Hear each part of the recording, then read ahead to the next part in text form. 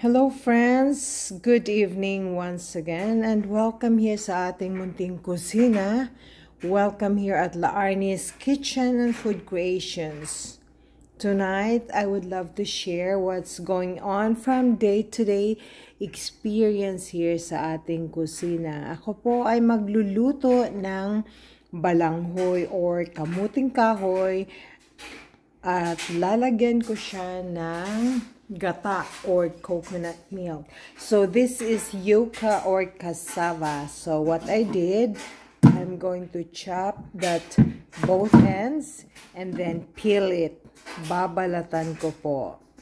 Okay friends, yan po ang balat or skin sa ating uh, cassava or kamoting kahoy discarded po yan. And then, after na mabalatan, tadaro na ako, no? I'm going to chop this one according to the desired sizes of your cassava. So, hinati ko dahil the, at the middle portion, meron po siyang strand or yung, ano, sa tawag ano niya.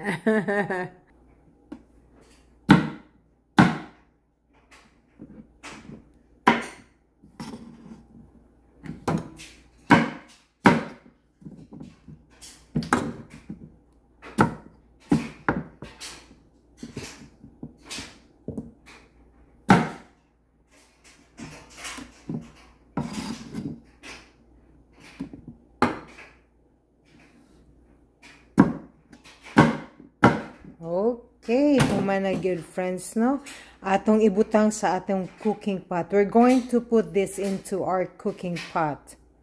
So once we place this into our cooking pot, I'm going to add two, two cans of coconut milk.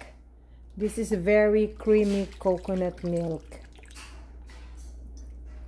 So per can, Uh, equivalent po niya is 2 cups. This is 400 ml. So, dalawa po ang ilagay natin. Ilalagay natin.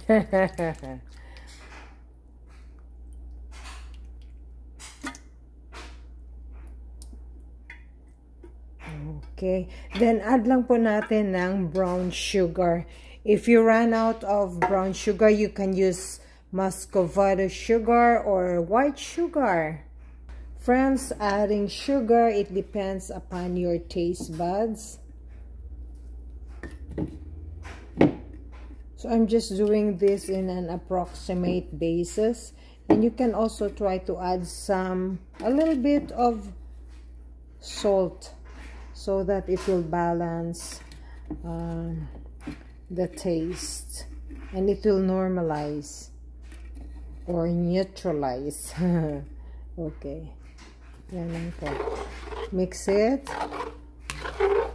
Adding salt or a little, adding a little salt or sugar, it depends upon your own discretion. Okay. I'll have to turn this on and put cover and set this aside for now until this is cooked uh, until this is fully cooked. Friends I am using over medium flame.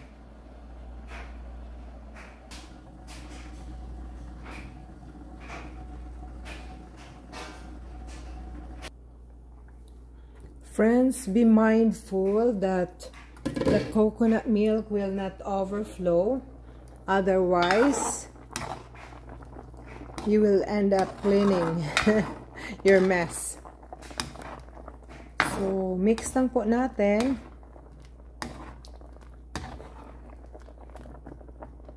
So, this is not yet done. We will wait until the absorption of the coconut milk. Okay, there you go.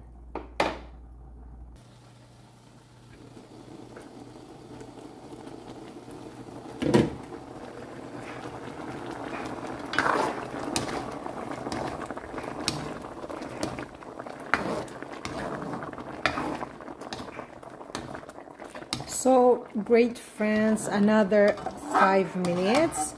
Then this is good. I'll have to cover it back and set this aside for another five more minutes. Okay friends, let's check whether this is cooked.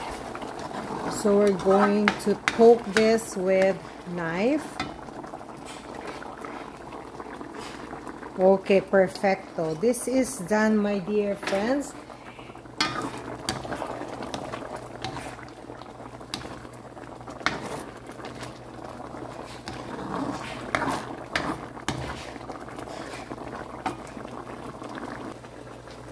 Friends, luto na po ang ating ginataan na kasava or yuca or kamoting kahoy or balanghoy. We call that balanghoy in Bisaya. Okay, there you go. So I'll have to turn off my flame. Voila. And then I'll have to transfer it into my uh, bowl. Serving bowl. Ito po ang aking serving bowl. I'll have to transfer this finished product into my serving bowl. Okay, there you go, wonderful friends. Thank you very much for watching Laarni's Kitchen and Food Creations. Till the next time.